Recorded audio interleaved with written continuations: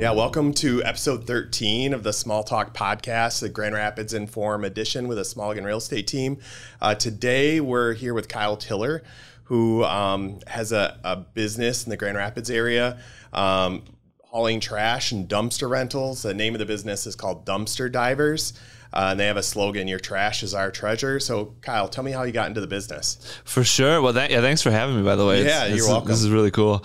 Um, so, yeah, how we got into the business is uh, I have a business partner. His name's Emilio, and we both used to work at Two Men and a Truck together uh, back in the when we were in college, actually. Okay. And um, you know, you do that, and you have your bosses and they're always telling you what to do and you have the customers who are freaking out you know?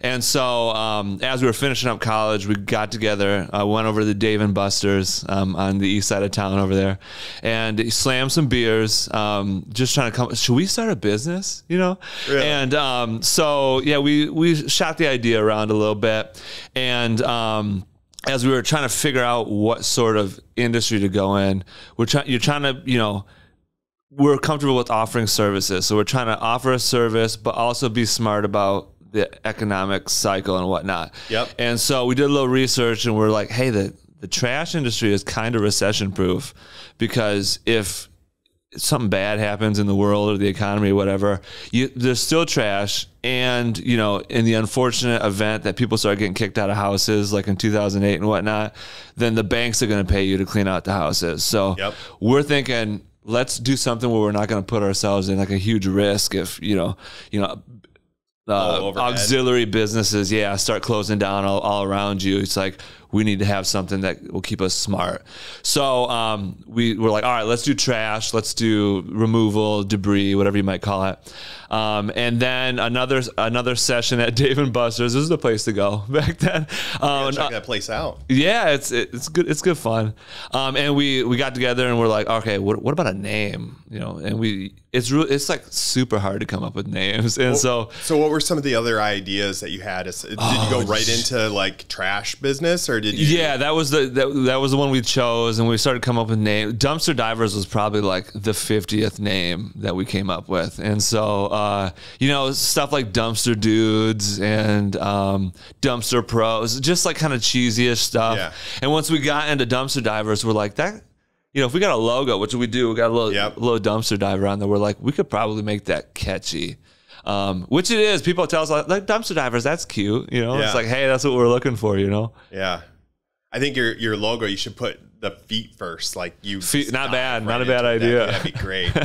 but so you didn't have any other like ideas when you were getting started? Like it was straight from like we should start a business to trash business. There was like Th- there were a couple of different avenues that that we thought of, um, but we were looking for something. Um, I guess a, a secondary um, point of view from that is our industry is not very customer servicey.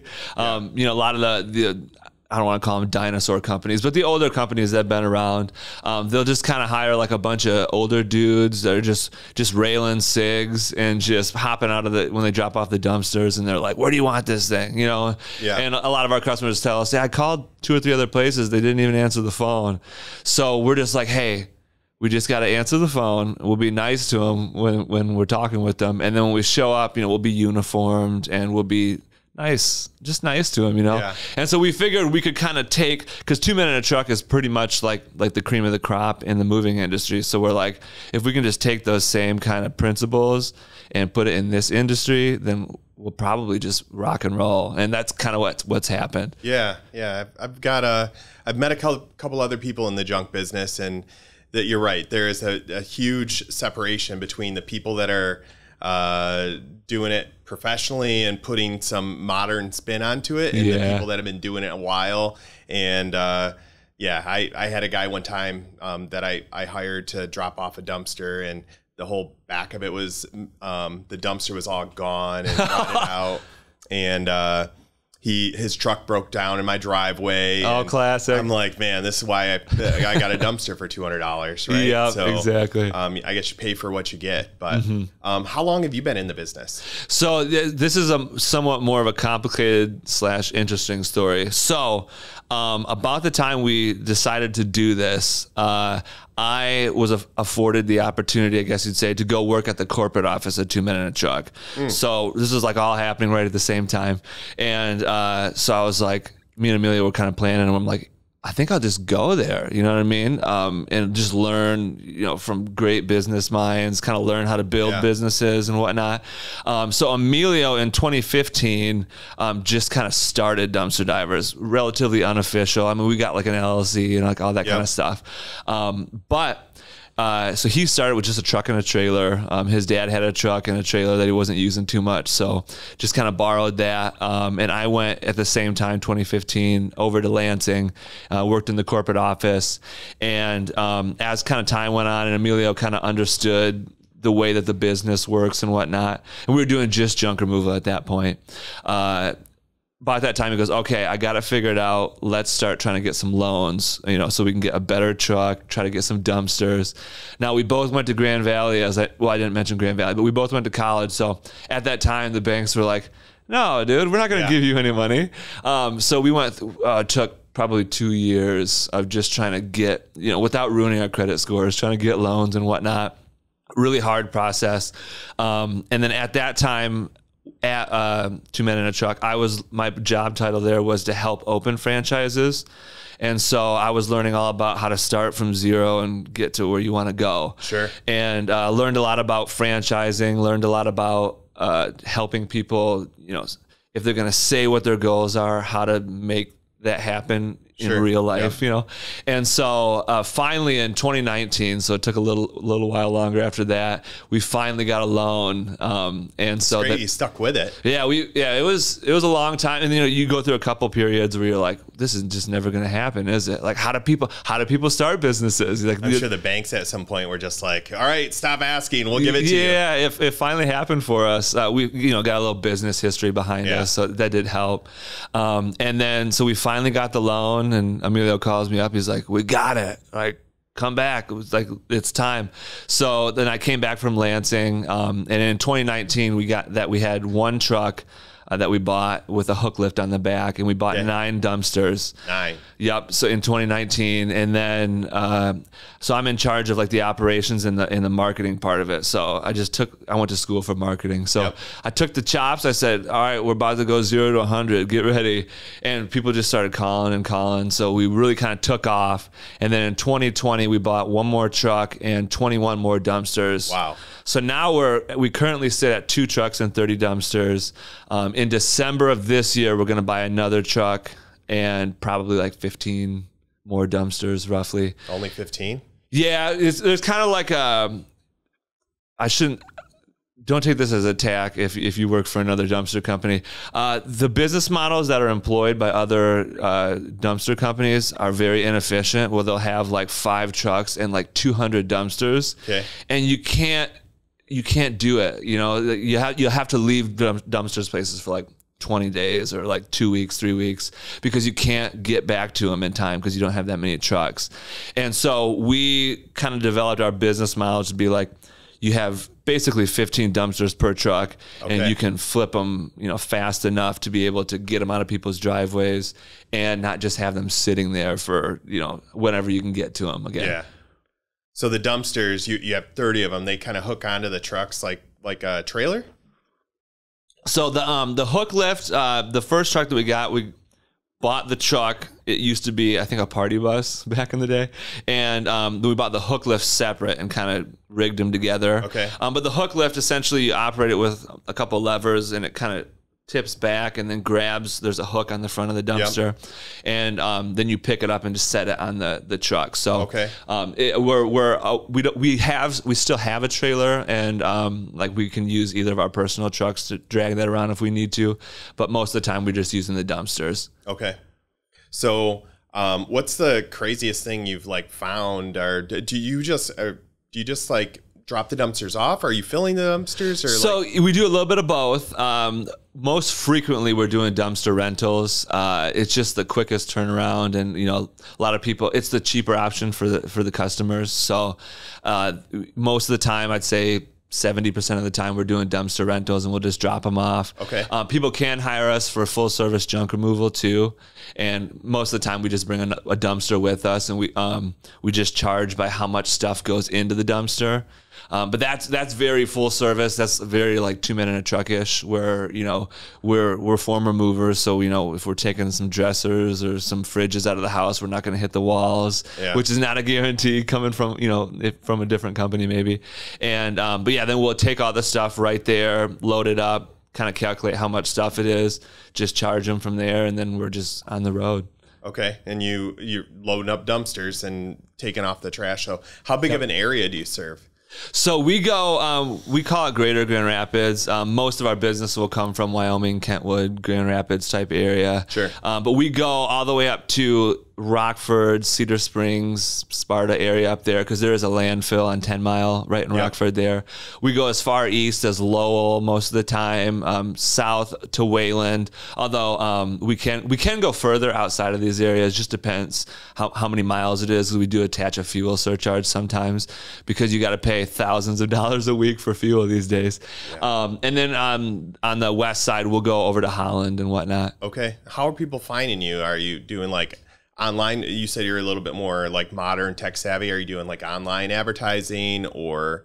Yep. so we um, we hit Google pretty hard. Um, when I was at the corporate office at Two Man Truck, I learned I was knee deep in um, you know pay per click advertising and Yeah. AdWords and whatnot. So learned a lot about that and how to target not just every person in the world to just click click click and pay for it so we we kind of tailored our ppc campaign to like get the people that are going to use the service um, so we, we're heavily in ppc um, we do podcasts a little bit um, with the eric zane show um, he used to be on free beer and hot wings back in the Eric, day yeah. oh yeah right on Yeah. and uh, so we uh, we sponsor him and so he brings me on the show every thursday at 9 a.m and Really? we just talk about stupid stuff and Okay. just joke around, but kind of gets us into like a different audience of people who are, you know, maybe at work, just kind of listening in. Um, and then the one of the bigger things that we do is Facebook videos. Uh, we, you know, we'll, we'll run like some Facebook ads and whatnot too to like direct you right to the website. But I started this thing shortly after 20, 2019 when I came back, um, where I just make stupid videos just to either catch people's attention or make them laugh, which most of the time has nothing to do with dumpsters or dumpster divers at all. Just like things I see while I'm driving around. So just a bunch of stupid videos, and um, people find us that way just as they're scrolling at Where do night. you get that idea from? Um, really just school. Uh, Okay. I learned. I, I went for advertising and public relations and marketing and whatnot. And uh, I think if you're a smart cookie, you realize when you're in that program that you hate advertising and kind of how it is, you know. Yeah. And I was like, I don't. I don't want to make cheesy commercials. I don't want to.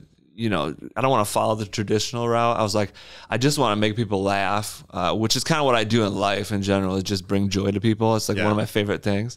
Um, so I was like, I just want to make stupid videos, make somebody laugh, um, you know, have them click on the video and so they see our name and whatnot. And I was like, then, you know, maybe three, four months later, they're like, oh, hey, I need a dumpster. And they remember me from the videos. Sure. Cause, you know, I'm I'm out there cruising a lot and I'll get people honking and I'll look over and they just like wave, you know, cause they, they just see me in the videos. Yeah. So um, I just try to make, yeah, make it like where uh, they think because I'm on the TV screen per se that like you know I'm just like a figure. they know you, right? Yeah, Like so they get to know you. Yeah, yeah. So I think I think that's actually a, like I don't know that you realize you just did this, but you brought up a really good point. Like um, a lot of people take jobs um, and they look at it as just a paycheck, right? I'm just going to make twenty dollars an hour, five dollars an hour, fifteen dollars an hour, right?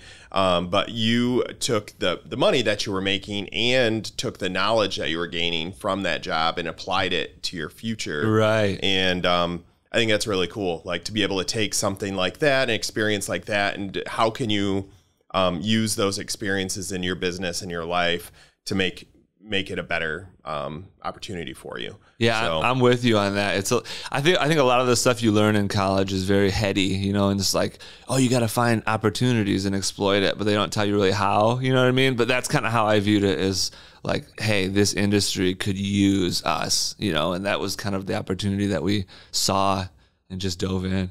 Yeah, it sounds like it's working out good for you.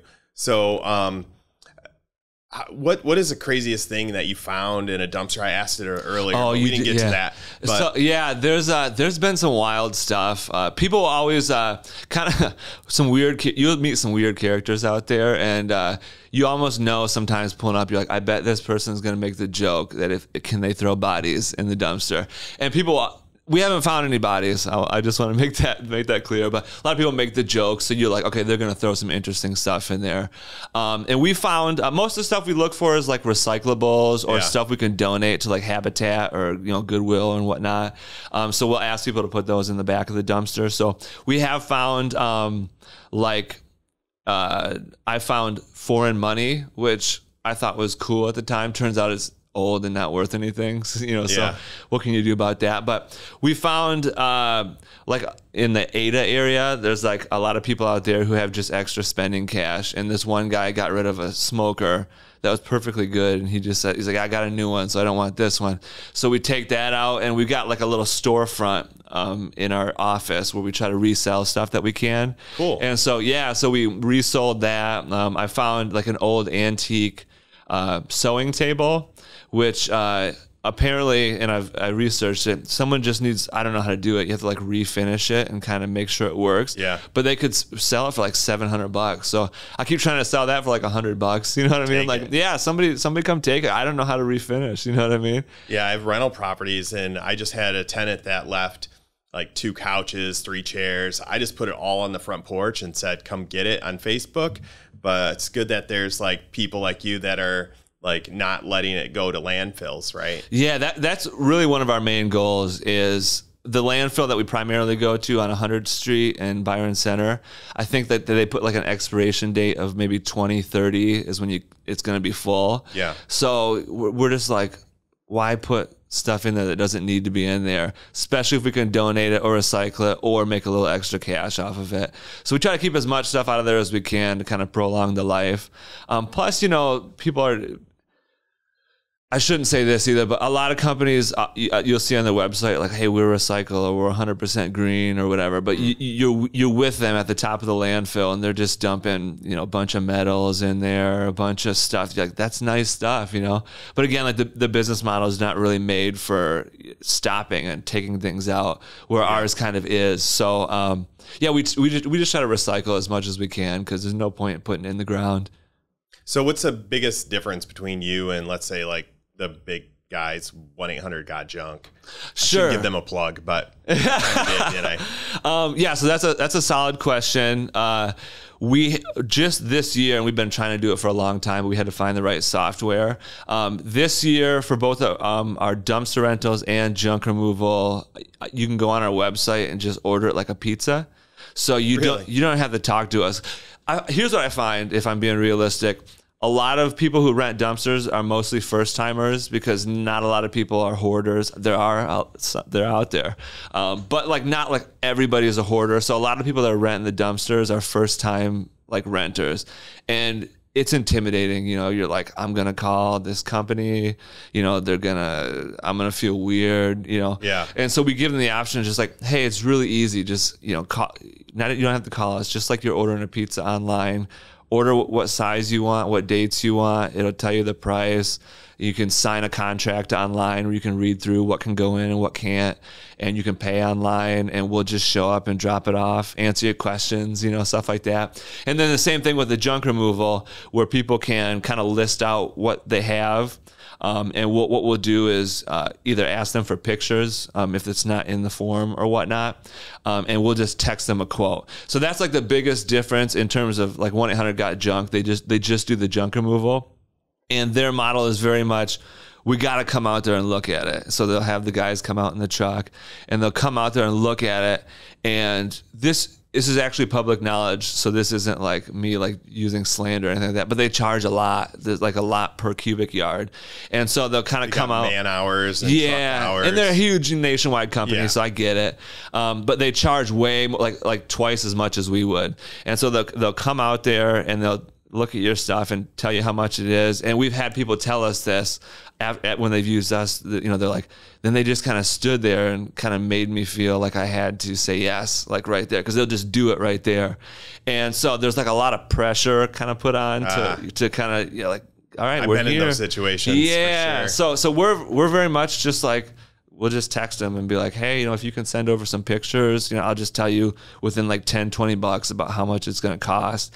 And, you know, it's text. So like, we're not even like pressuring them on the phone, like with timing, like, hey, Sure. this call's been going two minutes. Like, what do you think? So we'll just text them and they're like, oh yeah, that sounds good. You know, we'll go out there and do it. Um, and then in terms of dumpster rentals, kind of what I was mentioning before, if the other companies are going to answer the phone, they're just going to be like, okay, this is how much it is. Do you want it or what? You know? Yeah, and the next guy might get a different price. too. Yeah, yeah, Yeah, been there. yeah. So all of our stuff, it's very, it's very, like you said, tech savvy before, where it's very much like you can kind of control your own destiny and you know book your own dumpster, book your own junk removal. We do also offer demolition services, uh, where you do kind of have to go out there and look at the project and kind Sure. of figure out, you know, how many walls is there actually behind this first wall. So Yep. there's th- that takes a little more of like an on-site consultation, um, but also you know we go back to the office and calculate it, and then again just text with them to kind of take the pressure off. Has there been anything that you've like uh, went to see and you're like, oh, that's too disgusting. I'm not going to touch it. So uh, retroactively, yes, we ha- we have done some hoarder situations where um, you all of a sudden you're digging digging through this train. We got the full suits on, the, Yeah. the hazmat masks and everything, and you're like, hey, what are these? Uh, what are these jars? And it's jars of pee. That's what Oh, it is. You know we, what I we actually had a uh, um, uh, one of our agents actually went through a house, a listing, and uh, there was bottles near their bed, and uh, he took a picture of it, but it was pretty disgusting. They're trying to sell their house, and it looks like that. Yeah. So yeah, we've had like retroactively where we're, you know we look back and we go, either we got to charge a lot more for this type of stuff, or we just if we're seeing like feces um, or you know pee or like any type of that, it's like maybe we don't do it. You know, maybe because Yeah. there are companies that are like specifically designed for like hazmat situations like that. So we had had couple calls like that where we're like, maybe we don't do that because that's pretty gross. You know what I mean? Have you uh, thought about like hiring goats and just like uh, unleashing a herd of goats on their house? For sure. I like They'll eat anything. Yeah, you probably don't got to pay them very much. You know what I mean? Um, you do anything else that we haven't maybe talked about?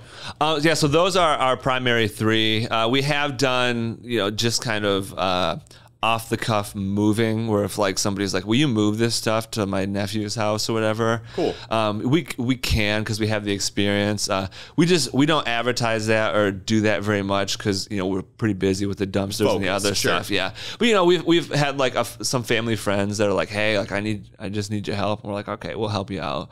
Um, But Yeah. yeah, those are our big three things. Okay.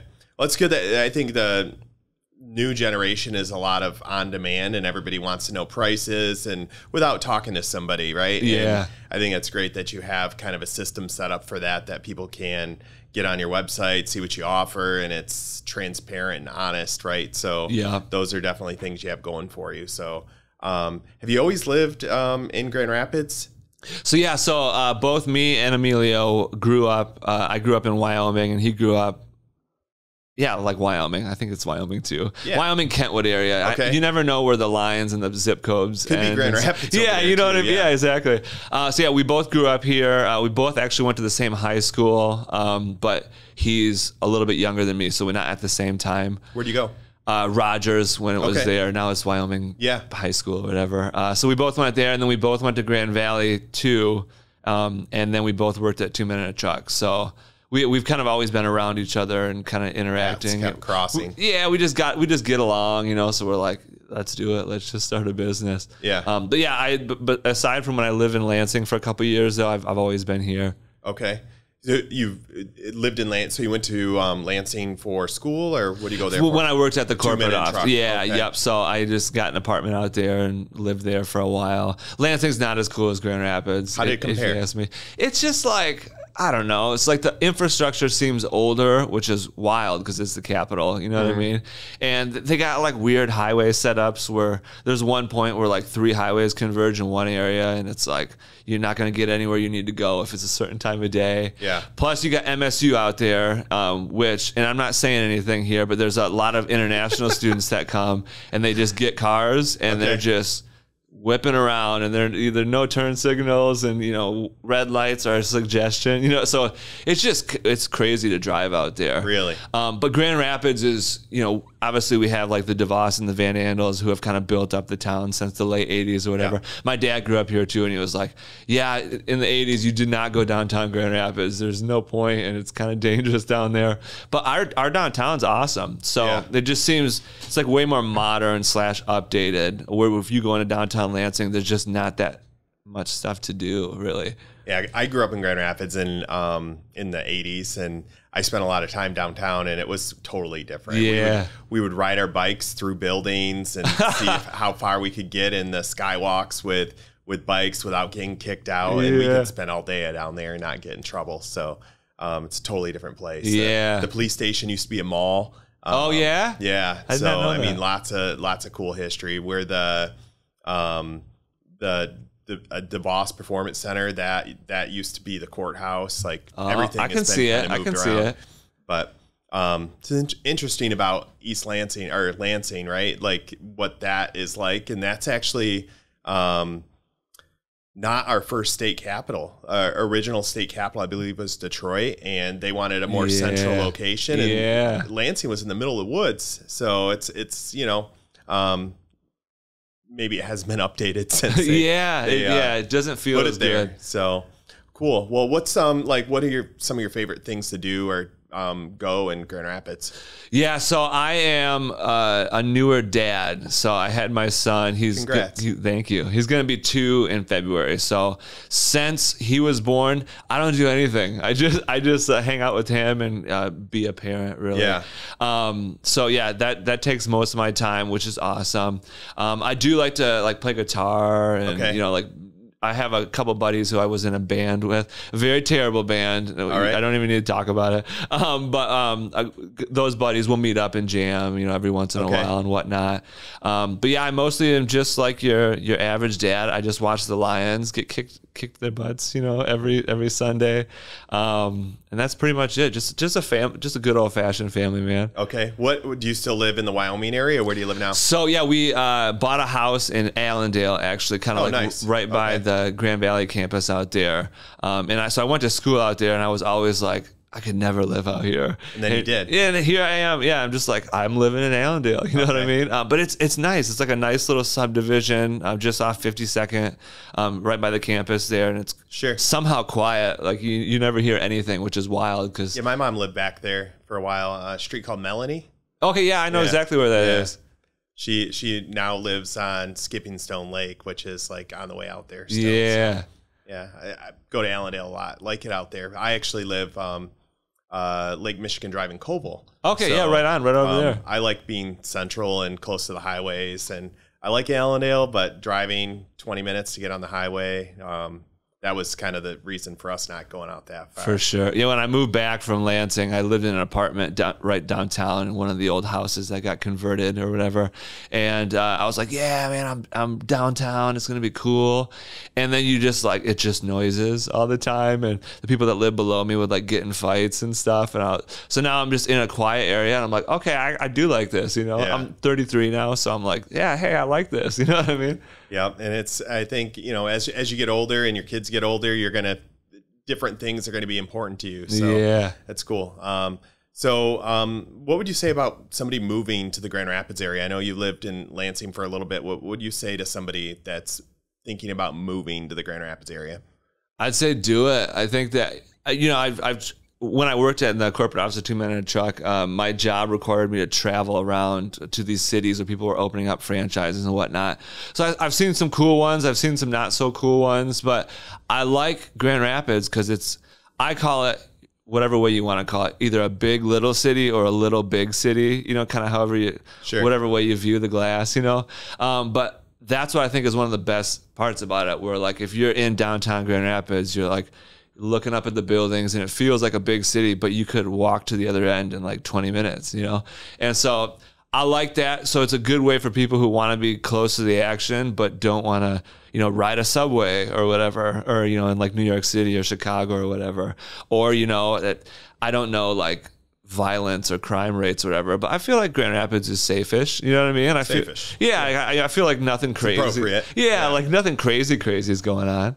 And so you know, you then you got the the college campuses right down there. You know, so you're gonna have people out and about, which is nice. You know, you probably wouldn't want to live in a like a downtown area where nobody's ever outside or doing anything because that'd probably be kind of creepy. I feel like, um, but yeah, I'd say I'd say do it because you you know you're gonna find a good a good mix of people that that are pretty chill. Yeah, there's. I mean, I that's why what I love about Grand Rapids is there's lots of different people and experiences, and I think people come here and they bring their own like element and share it with people. Right, the mm-hmm. art, the the food, um, the entertainment things. There's just so much to do in Grand Rapids, and that's, Yeah. yeah. So, have you done a lot of traveling, or Yeah, you so- Chicago and New York? Yeah, so um, I'm when I was a kid, most of the traveling was like my parents had a timeshare, of course, because it was Yeah. the '90s. So Yeah. it was like go to Florida, go to Colorado. Those are like the two places we'd go primarily. So I did a lot of that. But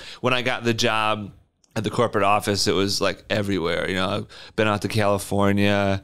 I've been to Fargo, North Dakota, which was weird. you know, it was like February and it was like negative 20 degrees. Okay. It's a different type of cold over there. Sounds like the UP.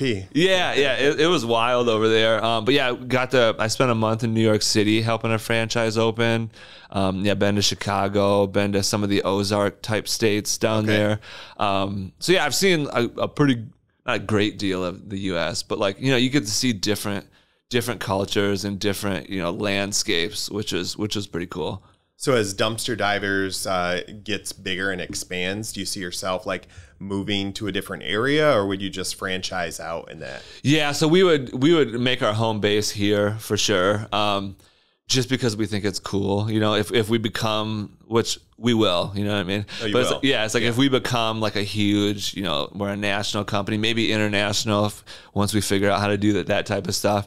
Um, it's just cool to be like Grand Rapids is the headquarters, you know what I mean? And and I'm, you know, there's like Amway and whatnot. Yeah. So there's like some businesses around here that are like that, but it's like no, like dumpster divers or whatever we're gonna have to call it eventually.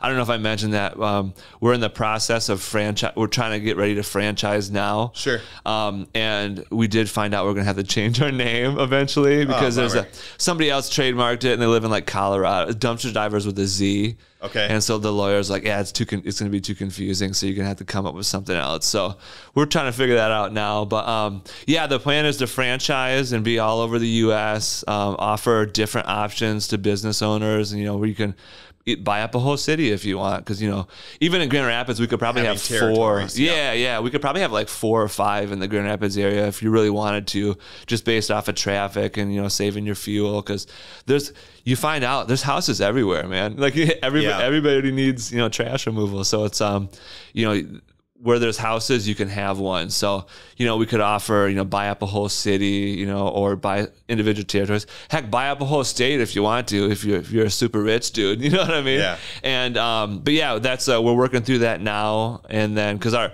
the one of the main goals of dumpster divers um, built into our business model is we're just two regular dudes, and we started it with zero dollars, and so our business model is built to be like four regular dudes who didn't think they would ever be able to own a business or do you know be the big boss or whatever. You know they're just like ah i'm gonna be stuck at a factory or stuck at you know bouncing around at jobs or whatever. So we want to we you hear a lot about like middle class, like the middle America or whatever, and it's mm-hmm. like oh, it's disappearing and whatnot, and nobody's doing anything about it. You know what I mean? The politicians are all Yeah. like, oh, we're gonna try to, they're whatever. They're not.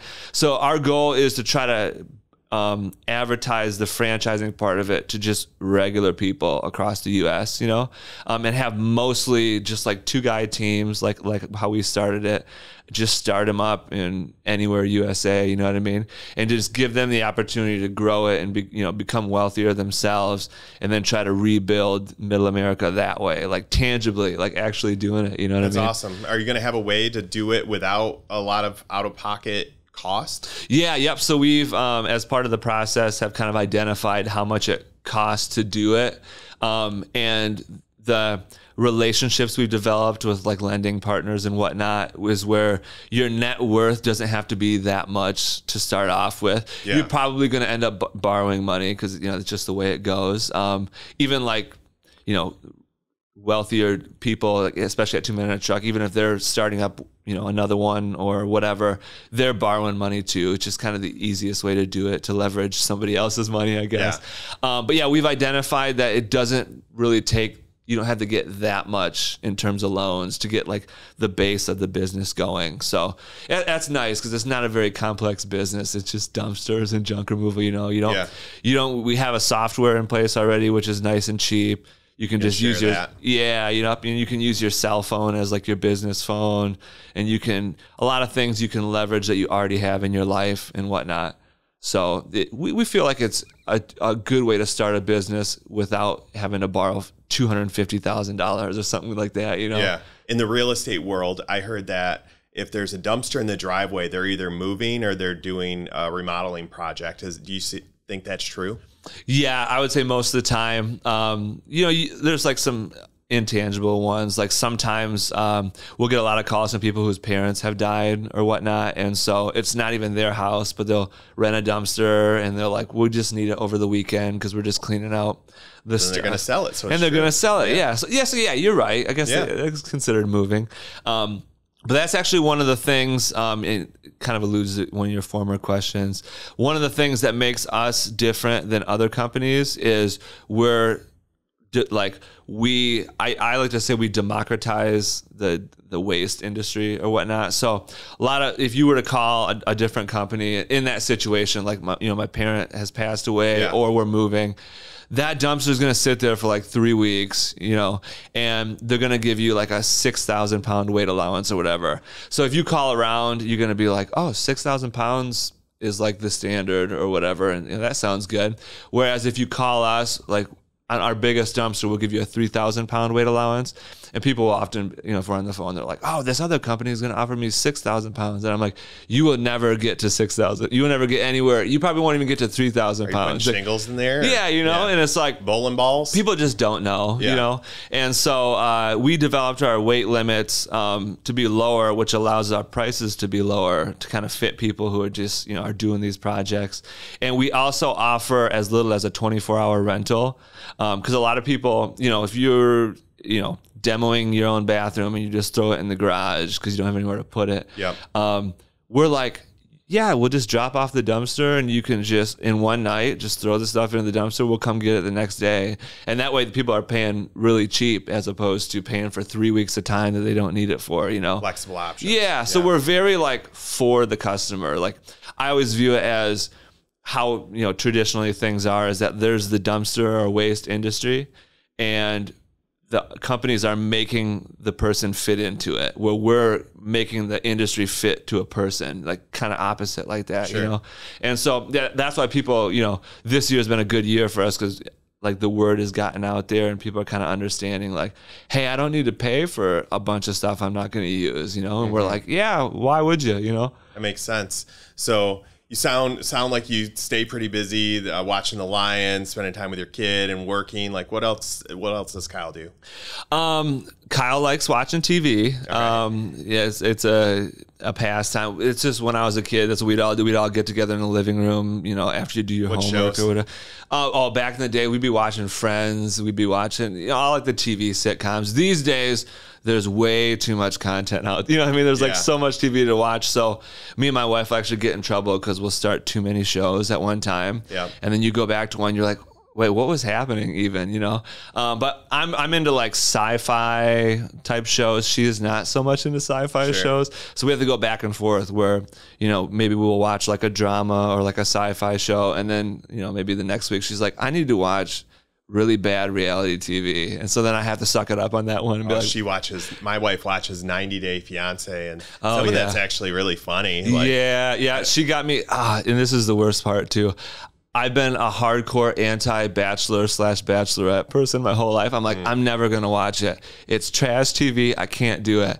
And lo and behold, she got me sucked into it. Where I just watch it to like, I'm like, is this real? Like, are You these? gotta watch to see what happens. yeah, I'm like, are these people crazy? Like, what? So, so yeah, she sucked me into some of that stuff. But yeah, we get into you know the reality. Um, we're, we both have the same sense of humor, so we do watch a lot of comedy and you know stuff like that together. So, uh, it's we're a good TV watching couple for sure. yeah. What's one piece of advice you could get to give to somebody when they're starting a business? Oh, that's a good one. Um, so if you are going the route of having a business partner, then that's both like rewarding and frustrating, right? Because we're Americans, so we're very individualistic, which, you know, in the business world, if you're owning a business means I want to do everything my way and it makes sense to me. And so so if you have a business partner, you really gotta you gotta put yourself back in like elementary school version of yourself where everything was a group project, you know, and you had to learn how to work with people and go, yeah, I guess not all of my ideas are going to get used all the time. And you got to be cool with it, you know, because the other person, you know, hopefully if you're going to partner up with somebody, they're smart, you know, so they they got good ideas too, you know, and you have to kind of take your ego out of it and be like, okay, like they're not going to just come up with stupid ideas that are going to destroy the business. Um, so I You have find the same goal. yeah, exactly. You know, you, you got to be good communicating. Um, I we've heard a lot from you know you bump into people at uh, trade events and whatnot where a lot of people say like, oh, you can't be friends. If you're gonna have a business partner, you shouldn't be friends first. And I'm like, nah, I, I think you can be friends first. You know, first if you're good You gotta at have mutual respect. yeah, you got to have respect for each other. You know, you just got to separate like the, you know, we're good friends no matter what happens. You know, even if something happens and I get mad at the business side of what you did, like we're still friends, you know. And I, I think a lot of people are probably just not as good at that, you know, where they're like, I'm mad at him in business life and I'm mad at him in real life because of it, you know. So I would give that advice to anybody of just being able to, you know, be multifaceted in how you think about stuff. Um, and if you're gonna go it alone, um, I would say get ready to lose your mind a little bit, you know, Yeah. because it's like if you don't want a business partner because you really want that control, it's like there's nobody else, you know. You you literally have control of everything, you know. And I think a lot of people don't realize how much work goes into, you know, running a business because. You know, in our business, you might just think, okay, I'm going to come in in the morning, I'll make sure the orders are good to go, I'll deliver the dumpsters, maybe I'll make a video, maybe I'll whatever, then I'll go home. It's like, no, you got to pay the bills, you know, you got where are the dumpsters going? Yeah. gotta market. I mean, I totally get it.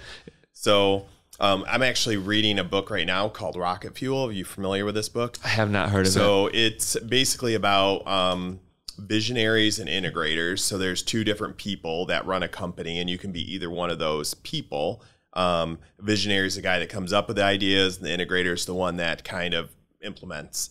And um, lots of big businesses have those two roles in them, um, like Walt Disney, right? So Walt Disney had a, a partner um, that nobody ever talks about, but he wanted it that way. He didn't want to be the guy out front um, that everybody knew. He wanted to be the guy behind the scenes that was running everything. So Yeah. um, it's been right. I'm about three quarters through the book, but it's it's really good. And it's given me a lot of like ideas on how to work better with the people that are involved in my business and um, uh, figuring out how to delegate and to better manage and grow. Mm-hmm. Um, and especially if you want to get to that next level, um, you you guys are probably not going to be doing the same thing all the time. So it's about finding how you can best work together. I would say you should pick that book up and buy one for him too. Yeah, I, I like it. I like because that's exactly where we're going. So that's a, a good recommendation for Um, sure. Other big real estate teams have actually told me like that's the book they like seen a ton of change in their business once they started implementing things from that book. And um, I'm I'm seeing it, um, but I haven't started quite implementing everything. I'm not even through the book, but I'm excited about it. And I, I don't tell a lot of people about the books I read. Um, I don't think I've done that yet in a podcast, but um, I, I would check that one out. I think it would yeah, help you. I'm into it. um, do you have any like business role models or influences on you or your career path? Oh, geez. Let's see here. Um, well, I did learn a lot from um, the family that started Two Men and a Truck. Uh, When I first joined the corporate office, they were still pretty pretty involved, you know. Yep. So um, they're the the two men are like two brothers essentially, and th- their mom started it, and with them, I guess you'd say, and you know, so you learn a lot from, because they're two different people. So you learn a lot about you know kind of who had the ideas, like you were just mentioning, Yeah. who integrated the ideas, like where how the whole the whole history happened. Um, so yeah, I learned a lot about a lot of the things I I've taken into dumpster divers is kind of based off that, you know, like seeing how something is or how it could be, and just going like, hey, I'm gonna bridge the gap, you know. So I learned a lot about, I guess you'd say, trailblazing, because one of the parts of Two Men and a Truck Story is like way back in the 80s, someone was like, hey, you should franchise this business. And back then, like franchising wasn't such a Big thing. big, yeah, I- um, or, you know, maybe it was, but not as publicized or whatnot. But um, they're like, why would we franchise a moving industry or a moving company? Like statewide or nationwide? Or, Nationwide and international, actually, because they have some in Canada and some in like the UK. and they started in Lansing? Yeah, That's yeah. awesome. Yeah, so that's that's I did their big influences, I guess you'd say, because I'm just trying to redo that with us, you know. So um, yeah, just learned a lot about how to take good ideas from because you know they learned ideas from people along their way. So one of my big things is like taking the ego out of your life, you know, where if somebody has a good idea or a good input, I think a lot of people would just go like, "No, I got I got to figure it out. Like I know what I'm going to do." And it's like, "Yeah, but there's a million ways to do the same thing, you know. So you might as well learn from anybody you can about, you know, the best ways to do stuff." You might even learn what not to do, right? Yeah, yeah. So, um, what's one question that I haven't asked you that you wish I would have? I didn't. I didn't think about that. Um, I get. Okay, hold on. I guess. I guess a good question would be, why? Why do you do what you do?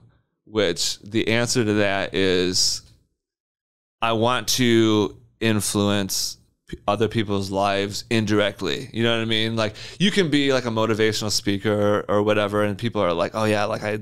They directly told me about something, but I want to kind of like I mentioned, like rebuild Middle America. So that's kind of like indirect, where um, well, a little direct, but indirect um, in the way that your web is just gaining people or whatever.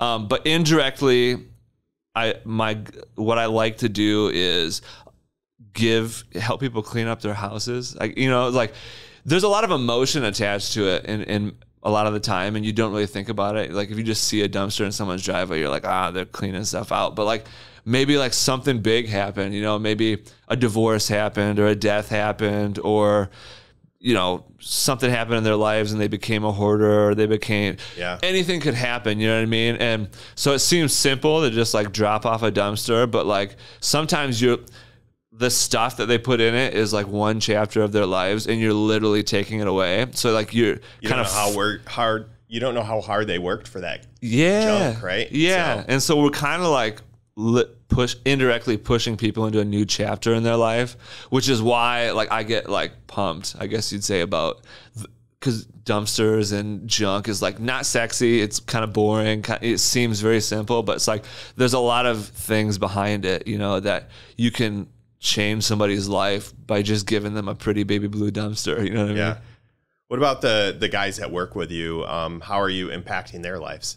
Yeah, so actually, uh, we're a team of three right now. Um, Okay. We do have kind of some partners that we work with. Um, what the, we're getting a, a contract hopefully pretty soon here, where we are going to start demoing out like fire situation like where houses were on fire or whatever. Sure. So um, we kind of have like partnerships with people that we can use their guys too. But the main is the main is there's just three of us, and so um, Emilio and I started it, like I mentioned. But we brought on our friend Tony. Uh, who we also used to work with at Two Men and a Truck, and um, we've just been good friends ever since then. And uh, he actually works. This is not his only gig, I guess you'd say. He's also a personal trainer too. Um, but one of the big things he does is like financial teaching or financial help um, for people or whatnot. So one of the reasons we wanted to bring him on is because we needed help for, for one, you know, because we grew a lot this year. And, um, but we also wanted to teach him the business so he knew kind of how it worked and kind of like how the money comes in and goes out and Yeah. kind of where you need to put everything in your buckets or whatnot. Um, but we're going to teach him that. So once we get, um, you know, we start doing, you know, trying to sell the first franchise and whatnot, he can run the location for us, which will help us free up our time.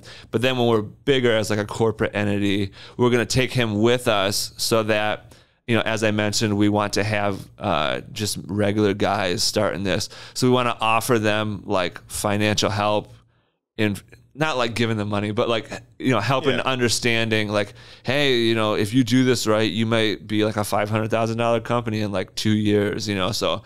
You know, if you're just a regular guy, you might be like, "That's a lot of money." You You're know, teaching. Yeah. yeah. So we want to be able to offer them support and like understanding that you know the zeros are going to get bigger and you know you can't just be spending money wherever you want because you have it coming in now so we want to be able to guide people that are just kind of like hey I, I believe in what you're talking about i want to I want to own my own business, so we're going to give them that help in understanding the, the financial side of it. So that's why we brought him on. Um, I'm really excited about that because it would be on the flip side somewhat scary just handing the keys over to somebody who might not know exactly how to spend their money. You know? Yeah, and just um, getting to know them and make sure that you guys have um, are in alignment and Mm-hmm. you know decisions because if he's going to be in a an important part of your future, you want to make sure he understands the past. Right. Yeah. So that's awesome. So, um, how can someone get a hold of you if um, they wanted to learn more about your business or um, perhaps hire you?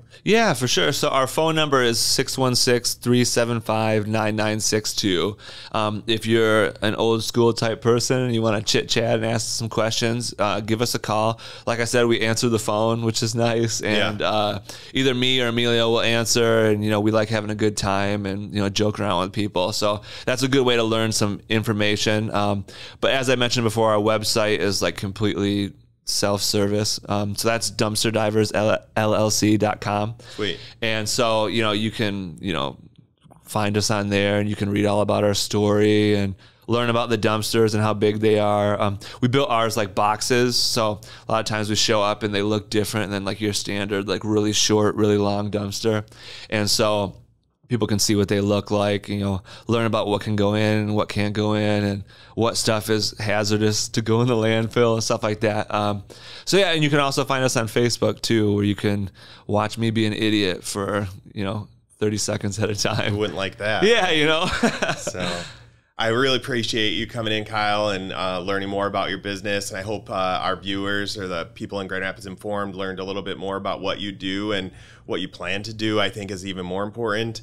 Um, and uh, thanks for sharing your story with us. yeah, thank you guys. This was awesome. All right. And um, to everyone else, please like and subscribe to our podcast and um, check out our next episodes. See you next time.